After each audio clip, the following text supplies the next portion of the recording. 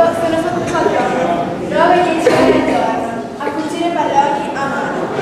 Sempre lo stesso lavoro, mi rovino le dita e non imparo altro. In Pakistan si produce di tutto, ma più di tutto si fanno palloni di cuoio da rugby e da calcio.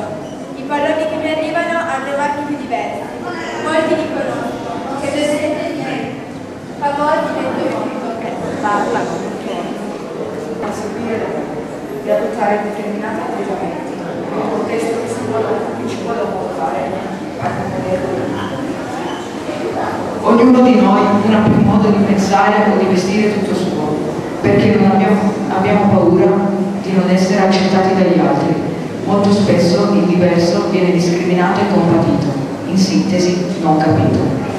Il difficile compito di educarci e insegnarci che la diversità culturale non è un difetto, ma ha origini antiche e fa parte del bagaglio che ognuno di noi porta in giro per il mondo, spetta alle famiglie e alla scuola, che devono trasmetterci un continuo messaggio di uguaglianza e di rispetto reciproco verso il prossimo, in modo che errori del passato non si ripetano più.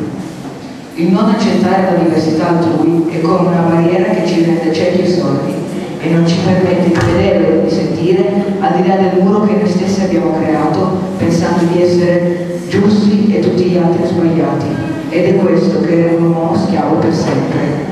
Anche quando cambiano i tempi, certe cose non cambiano mai. L'anno di 11 anni, come tanti. Amava giocare, andare in bicicletta e sognava di studiare e, e ora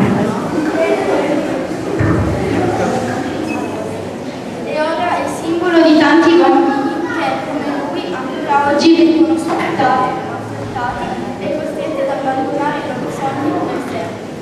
A Stoccolma nel 1994 i bambini eh, parlano alla conferenza internazionale sul lavoro. Iqbal mi diceva, nessun bambino dovrebbe impugnare in mano strumento di lavoro. Gli unici strumenti di lavoro che un bambino dovrebbe Abbiamo uno slogan a scuola, quando i bambini vengono liberati diciamo tutti insieme, noi siamo liberi e vi chiedo di unirvi a me oggi nel pronunciare questo slogan.